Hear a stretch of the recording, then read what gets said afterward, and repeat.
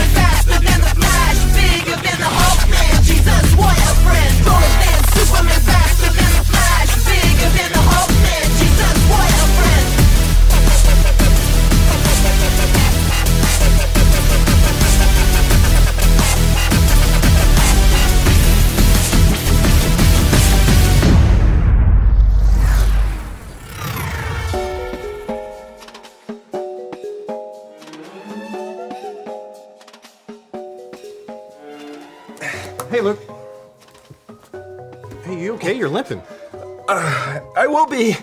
I just stumped my toe on a box of gadgets that Edison left in the hall. You know, I have a big list of things to tidy up today. I have a guest coming.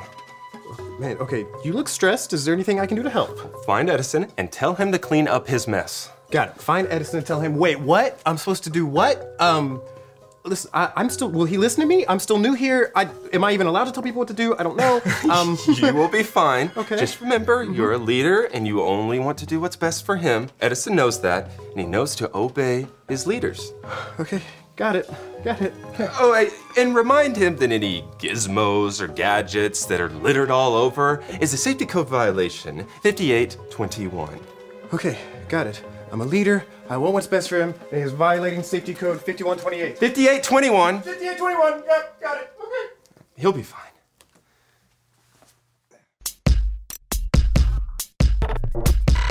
We are Konnect HQ. Every day we help the people of the world. Live God's way. We look for the links. Make the connection. And you never know what might happen.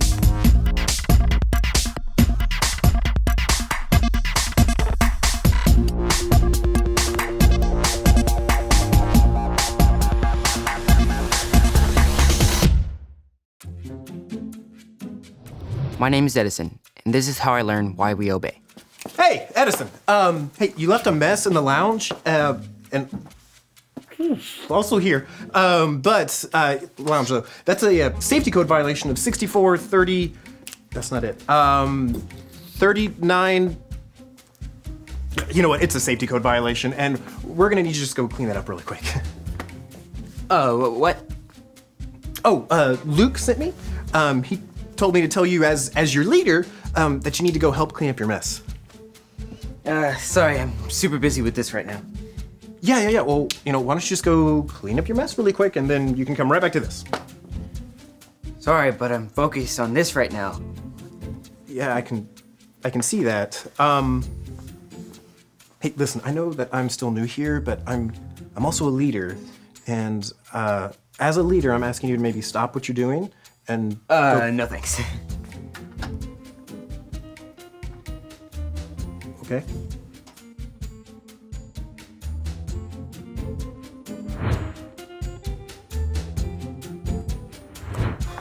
Well, I'm a big old failure. What happened? Well, you said Edison knew how to obey, and he sure didn't obey me. He didn't listen to me at all. Oh, sounds like we have similar problems. Tony, this is Mrs. Lang. She's the head of an agency that oversees safety in schools across America. Th- Nice to meet you, Miss Lang. Uh, what brings you to Konnect HQ? Oh, Luke invited me. I've been reading a lot of postcards lately from teachers that are having the same problem. Kids aren't obeying the rules. It's causing all sorts of problems. Luke wrote me to see if he could help. Safety is my passion, and I would do anything to help keep kids safe. Well, if you have any pointers on how to get Edison to respect me, I'll take them. Me too. Well, it's not just about respect. I mean, God expects us to obey. The Bible tells us this in the book of Colossians, chapter 3, verse 20. I don't think I'm familiar with that verse. Yeah, Luke, do you have any emotions to maybe help us remember it? I do. Say it with me, like this. Colossians 3:20. Colossians 3:20. Children, always obey your parents, Children, always, obey, your parents. for this pleases the Lord. Oh. For this pleases the Lord.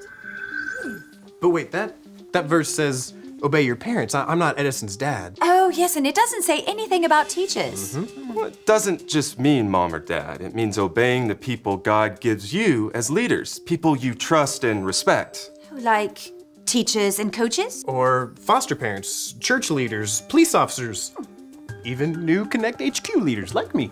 Exactly. We should obey trusted leaders. Edison knows better. I think you should talk with him again. Okay, will do. But until then, I would stay away from the lounge. It's still a little messy. I, I got it. Now, when it comes to safety, this binder solves tons of problems. Oh, yes.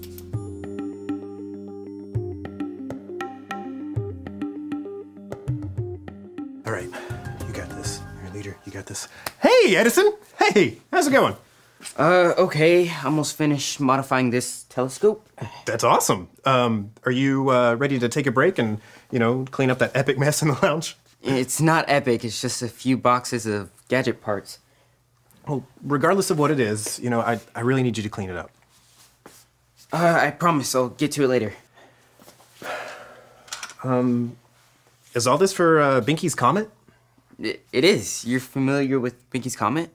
Yeah, actually, I uh, heard about it on the news, and I was hoping that if I go outside later tonight, maybe I could see it. Oh, with this telescope, you can see Binky's Comet. I'm supercharging it so we can see every last particle. Man, this seems pretty important to you. It only passes once every 35 years. Well, hey, I tell you what, I will help you with this telescope. But first things first. Uh, attach the magnifier to the automated arm. I was actually, um, I was thinking about something else. Oh, yeah, cleaning up my mess. Right. you got it. I can obey the leaders God gave me. I know you can. And I know it pleases God whenever you listen to trusted leaders. Now, come on. And when we get back, you can tell me all about this telescope, okay? So, why is it called Binky's Comet? Uh, because Dr. Julius Binky discovered it. Wait, so you're telling me that if I discover a comet, I can call it Tony's Comet? That's how it works. That's awesome. Love that.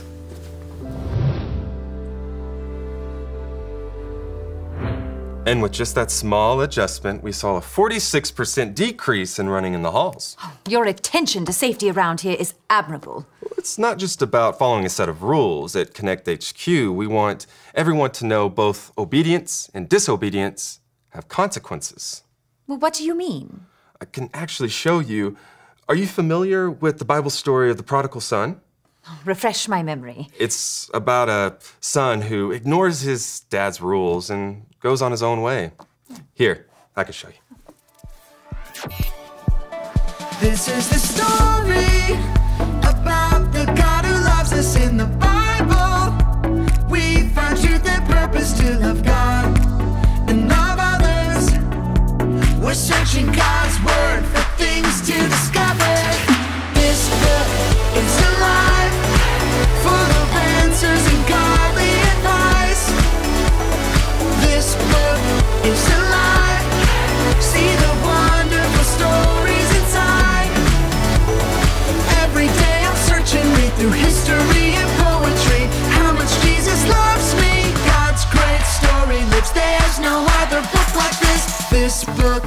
is alive.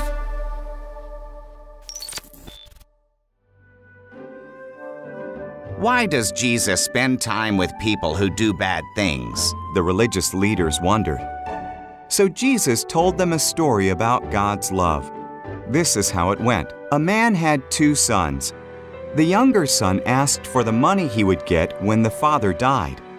Heartbroken, the father gave his younger son half of his property. The son moved to a distant country. He wasted all the money. Then a famine came, and he had to feed pigs. He wished he could eat the pigs' food. My father's servants do better than this, he thought. I'll return home and admit that I have sinned against him and God. Maybe he'll make me one of his servants. The son went home. While he was still far away, his father ran to him and hugged him. I'm not worthy to be your son, he told his father. Bring my son my best robe, the father told his servants. Put a ring on his finger, roast our fattest calf.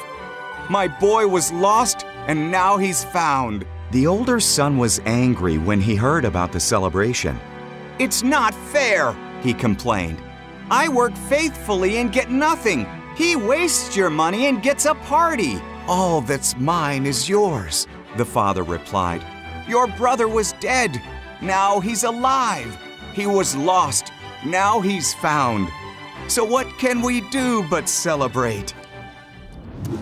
I think we can agree that disobeying the rules brings bad consequences. In this case, the son runs out of money and has to eat garbage. Oh, that is the very definition of bad consequence.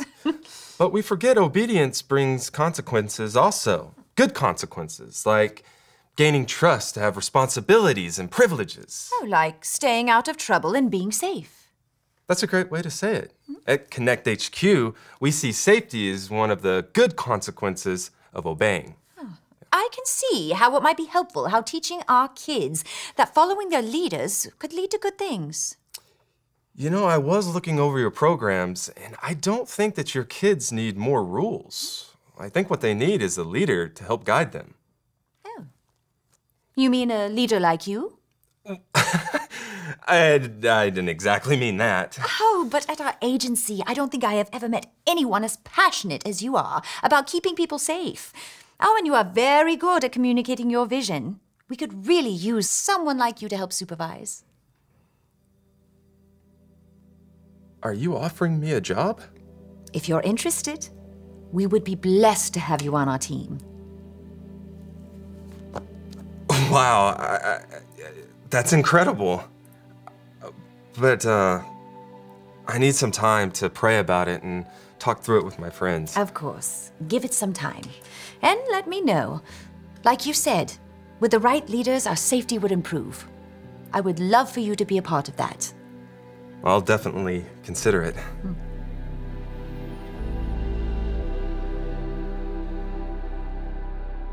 What do you think? Is it working? It's excellent. The modifications worked. I can see the bottom of your pores. Oh, okay. Um, wait, listen. Thank you so much for coming back to this after cleaning up your mess in the lounge. I appreciate it. And I owe you an apology. For earlier, I'm sorry I didn't clean up my mess right away. Thanks, Edison.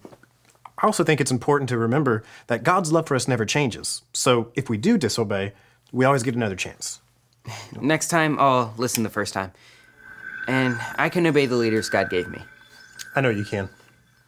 Oh, and thanks for building trust by listening to me and showing interest in what I was working on. Yeah, of course. I think astronomy stuff is fascinating. When's the comet supposed to come by? Oh no, it's still daytime. Oh yeah. Mm-hmm. Oh, oh. I saw the sun's pores. Okay. Maybe we made it a little too powerful. Mm-hmm. Um, Yeah. Yep. Uh, the other way. Oh, left. Yeah, left. that way. Uh-huh. Okay.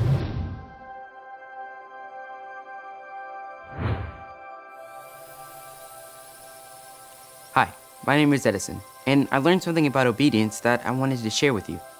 The Bible tells us this in the book of Colossians, chapter 3, verse 20. Say it with me like this. Colossians 3:20. Children, always obey your parents, for this pleases the Lord. When we obey our parents and our trusted leaders in our life, we're obeying God too. He put them there on purpose so they could help us and guide us too. When you disobey, there are consequences, but God's love for you never changes. He always gives you another chance. You can choose to apologize and get back to obeying your leaders. God loves it when we obey our leaders, because when we do, we are obeying Him. Put all kinds of different leaders in our life. They are there to keep us safe. Respecting and listening to trusted leaders has good consequences. It helps us stay away from trouble. Do what you need to do to stay safe. If a leader ever tells you to do something wrong or dangerous, tell an adult you trust as soon as possible. I can obey the leaders God gave me. Even though sometimes I make mistakes, I look for ways I can obey God and trust in His voice. He never gives up on us. And remember, Konnect HQ is here to help you. You have been my best friend for a long time. What do you think I should do? Honestly, as much as it pains me to say it, sounds like a dream job for you. Would you take it? I wasn't offered the job. You mm. were. No, I mean if you were in my shoes. Well, I would I would pray to God and see if he's behind me. I have been praying all about it, and I wanted you guys to pray with me too. Hey, maybe Edison can like clone you and you could do both. I wish. But until then, it's one way or the other. Oh, my heart breaks for those kids who aren't safe in school. And I know I could help them. Well, it sounds like you would be present here, but your heart would be out there. That's deep. I have my moments. Oh, it sounds like you should leave Konnect HQ. I feel like that's what I'm supposed to do. Have you told Captain Ray yet? No. I'll make a decision and then I'll let her know. Well, I'll be there for you, buddy. No matter what you decide, I'll support you. I just don't want to make the wrong choice. Well, then my advice to you would be choose God's way and you can't go wrong. Where God guides, God provides. I knew I could count on you to be a good friend, Mike. You know, I'm gonna miss you, buddy.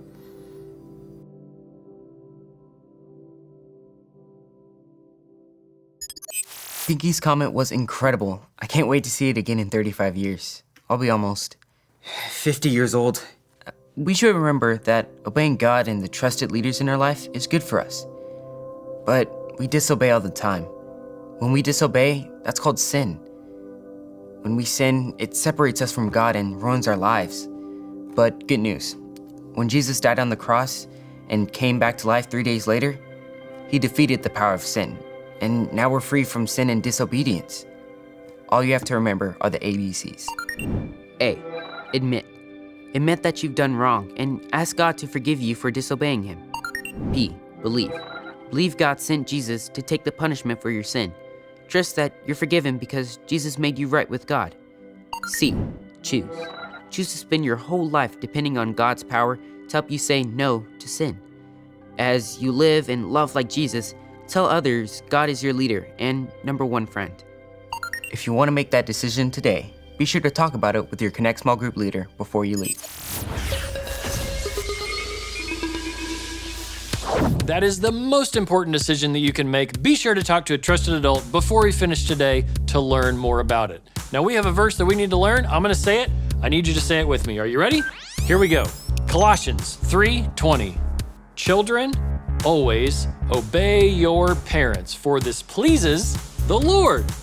Fantastic job. Now let's see how well you can obey your leader. I want you to pick one person to be your leader and take turns asking them for permission to do fun stuff like a somersault or an army crawl or maybe a crab walk. If they say you can do the thing you ask them to do, do it. If they say no, freeze and wait for your next turn. Got it? All right, pause the video and play the game.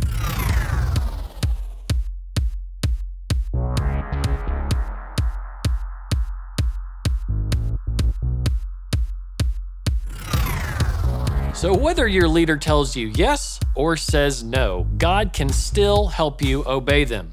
Now, we have some fantastic questions for you and your family to answer. Thank you so much for joining me in Konnect. I will see you later.